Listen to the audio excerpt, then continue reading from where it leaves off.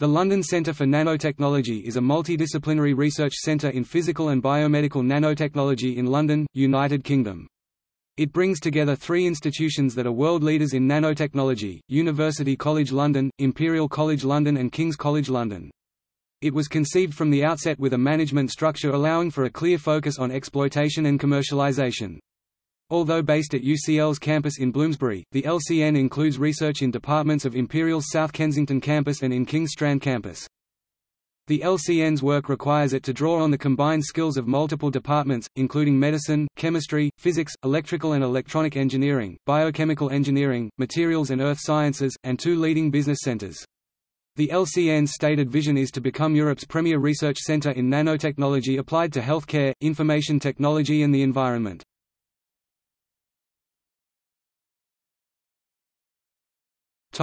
History The London Centre for Nanotechnology was established as a joint venture between UCL and Imperial College London in 2003 following the award of a £13.65 million higher education grant under the Science Research Infrastructure Fund. In October 2006 the LCN installed the first monochromated electron microscope in the UK at its site on the Imperial College London campus. In October 2008 the LCN published research about the possibility of using microscopic nanoprobes to discover new drugs to combat antibiotic resistance. In October 2009 a team at the Science and Technology Facilities Council's ISIS facility led by Stephen Bramwell of the LCN published research showing that single magnetic charges be made to behave and interact like electrical ones through the use of the magnetic monopoles that exist in spin ice. King's College London joined the LCN in 2018.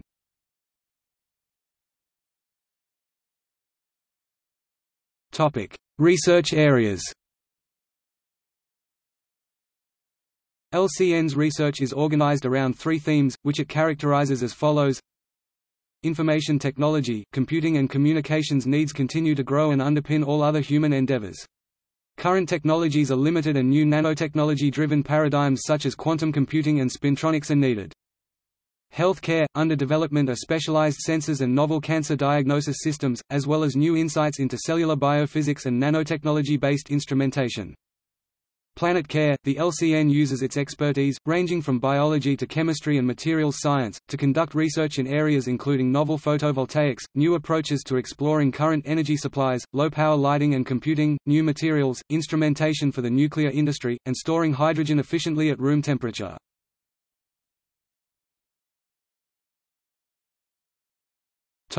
Facilities LCN has access to a range of facilities include NanoCAD – techniques to simulate, visualize and design nanoscale structures and devices in the biological and non-biological areas, first principles atomic, molecular level theory, systems modeling and other powerful computational tools. Nanocharacterization, the full range of optical, electron, ion and scan probe-based technologies required to image and understand nanostructures in both the biological and non-biological areas, measuring nanoelectrical, structural, mechanical, rheological, acoustic, thermal and magnetic properties. Nanofabrication, large clean room space with the ability to produce nanomaterials and devices using various biological and non-biological materials, silicon, IIIV fabrication and unconventional fabrication, for example, of organics and diamond.